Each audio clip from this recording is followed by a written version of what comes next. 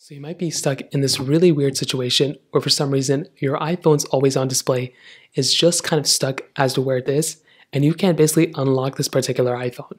Now, this can happen for a couple of different reasons, but the main reason why this ends up happening is because your particular iPhone just has some really random glitches, and either your power button isn't working, or when you touch this display, that's not working. And once again, that can happen for a lot of different reasons.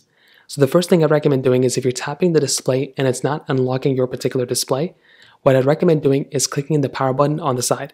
Okay, here we come in. And so what happens is when you tap on the display, you might see that it'll actually wake, but if you also click on the power button, it may wake as well. So if none those things are actually working, what you can try doing is making your way over to your settings application, going down into your software or your general option update panel here, clicking on software update, and literally just going through and updating your phone. For a vast majority of people, literally updating your device may end up fixing the problem for you, and that's exactly what I'd recommend doing in your particular case, is to go ahead, try updating your device, and that's probably what I recommend doing for you. Now, if that doesn't seem to be working, or if there's no update available, try going through and restarting your phone.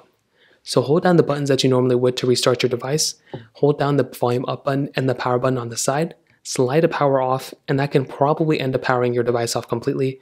So that's another thing that can probably end up fixing the situation as well.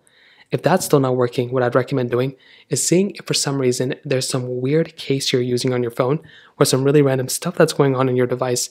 Because what can actually happen sometimes is that your device may end up having some really weird glitch.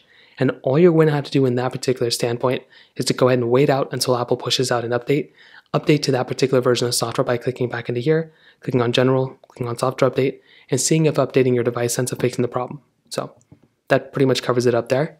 If you have any other thoughts or questions, let me know in the comment section below. Hit the like button, will mean so much, but definitely hit that subscribe button. More importantly than everything else, I love every single one of you guys. Hopefully I'll catch you guys in the next video.